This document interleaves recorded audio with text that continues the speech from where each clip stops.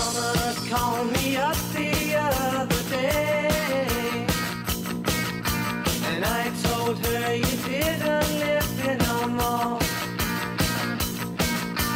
She was so upset, but what could I say? I don't feel the same as before. The bed Don't seem so big and no one